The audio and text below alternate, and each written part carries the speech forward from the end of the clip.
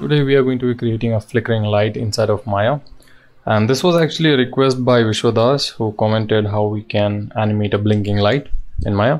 So let's see how we can do this. Now there are a couple of ways that we can do this um, but I've some found some unique ways that you can do this pretty quickly and pretty interestingly. So we'll see how we can do that. So I'm going to go to Arnold and quickly take a simple area light and let's rotate this so it faces towards us and I'm going to scale this up and scale the height down. All right so we have something like this.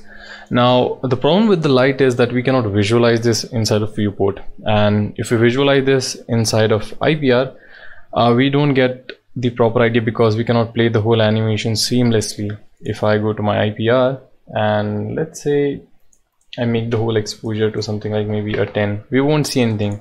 For the visualization purpose we'll take a simple sphere just so we can see how the exposure is kind of turning down and so on but still it's not fast enough for us to kind of realize how fast it's moving in real time. So the way we are going to do this is I'm going to get back uh, turn down the exposure back to zero and delete the whole sphere. The first thing I'm going to do is take a simple plane here and I'm going to turn off the grid and also reduce the division to 1 all right so we have something like this. Now obviously we can see something in the IPR and uh, IPR is a bit fast enough but not fast enough to show us in real time. So what we are going to do if you go to the overall panels here you can turn on the lights here. All right so now you can see a little bit tiny bit of exposure coming down here. So I can bring my light down and from here I can see how my light is overall interacting here. So if I go back to my attribute and change the overall exposure I can see how this is overall animating now back to the animation how we can animate a blinking light or a flickering light. So the first thing that you can do is obviously you can add a manual keyframe by doing a set key which I'll get back to after the main technique. So the fastest technique that I've come up with is creating an expression. So I'm going to right click on this and in the earlier video we have already seen how you can use expression to create a pretty fast and seamless animation. So i'm going to create a new expression. And this is not going to be a pretty complex anime uh, expression. This is going to be a pretty simple one. So first thing that we are going to do is obviously copy the attribute of the selected object which is our light here. And i'm going to select this copy this paste in our expression here. And if you i hope you can see this. I'm gonna bring this up. All right so for the function of this type of animation, what we need is some randomness regarding the overall exposure. So right now our exposure has been set to zero. What we want is to light to be scattered around here with the intensity of value of one or maybe like something like two and then going back to zero so we have no light whatsoever just a small tiny bit and then going back to something like maybe a value of 1.3 and so on so let's see how we can do that. So what i'm going to do is i'm going to select my light here and uh, create an expression. I'm going to copy this paste this and scale this up. All right so i'm going to hit spacebar. I'm going to hit is equal to and spacebar again. And i'm going to use something called as rand which is basically stands for random. And then spacebar open bracket close bracket and inside of the bracket we are going to put in the value that we want. So in this case we want something value of that goes into a positive direction. You can also use a value that goes into a negative uh, value as well. For example you can use something like a minus one and then comma and then you can use something like a positive two and that's it. So in this case I don't want the exposure to go back to the negative value so I'm going to keep the negative value to zero so it stays in the same place. On the other hand i want the positive value to go up to somewhere around two or maybe like three and that's it. And i'm gonna finish this code here and i'm gonna hit create. All right. So i'm gonna close this here. I'm gonna go to my first frame and if i play this now you can see how our flickering light is animating. So this is a pretty fast and seamless uh, way you can quickly animate your light to something like this. So this is this can be a pretty dramatic or cinematic scene where you have a kind of a hallway and you have a flickering light going on. So i'm going to add a bit of exposure just so we can visualize this. I'm going to quickly go to my atmosphere atmosphere volume and let's add a density value of 0.100 so i can also change the viewport to Arnold viewport here to something like this and now we can see the overall light here. I'm going to quickly pause this and add a new material a bit of a reflective material just so we can see uh, our light better. I'm to make the metalness to something like 0.1 and I think the roughness is good enough. Let's change the color to something like maybe a mid gray. All right let's turn this up. And let's play this now. All right so now you can see we have something like this. Pretty cool looking pretty interesting. And a couple of other things that you can do is you can also animate the intensity if you want. Increase some exposure uh, resolution sorry and some samples make sure you add a good amount of samples in your diffuse and your specular as well.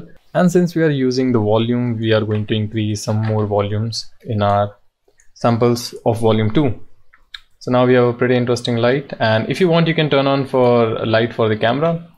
That totally depends on you. And now we have something like this horror looking scene.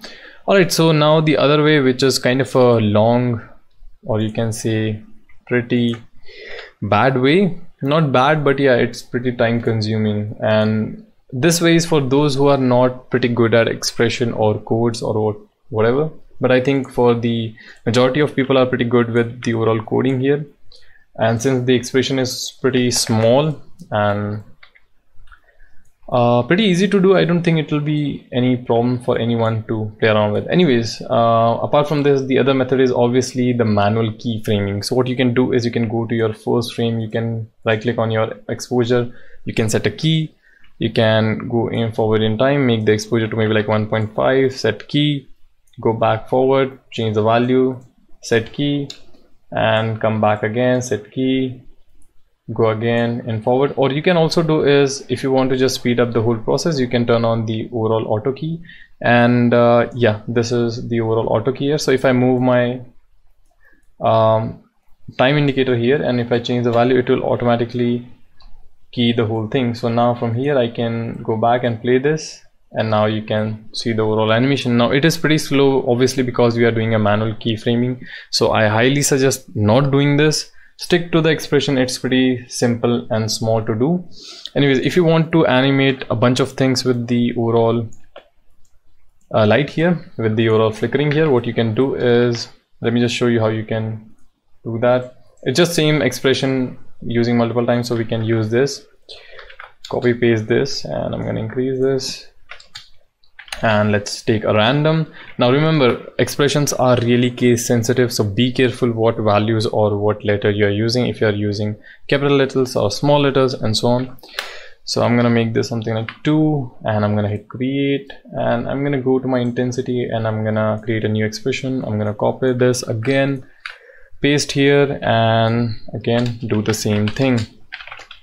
So I'm gonna put a value of maybe like minus 1 here and maybe like 1.2 and I'm gonna end this. I'm pretty sure I forgot to end the other expression as well yeah. And hit edit and close. Alright so we have something like this. Now apart from that if you want you can also uh, put an expression on the spread. Now spread is a pretty interesting thing. So you can animate that as well. I've already covered what spread does in multiple videos so I'm gonna put a new value here. I'm gonna use a value of maybe like something like let's use minus 0.5 and a value of maybe like 1 and I'm gonna end this as well and hit create. Alright. So I'm gonna bring this down here and go to the first frame alright. Now pretty interesting. I'm gonna go to my Arnold here. And let's start this up all right. So I don't think uh, we have enough exposure. That's why we are not seeing anything. Let's hit play on our keyboard. Yeah there you go. So now as you can see we have multiple things animating. That's why it's so fast. I'm gonna stop my IPR here. I think visualizing on the viewport is the fastest method of seeing this in real time. So yeah. Uh, apart from that uh, the overall expression is pretty good. You, you can create this pretty fast and you can create pretty amazing stuff with this. So have fun with this. If you have any request or any question or doubt feel free to ask me. I hope you had fun with this technique and i'll see you in the next video